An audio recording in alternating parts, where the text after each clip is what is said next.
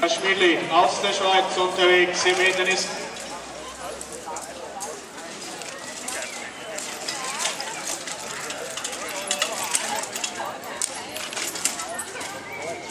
Hindernis 5 von BHT, Transport in Feldkirch und dem Ferry Bösch.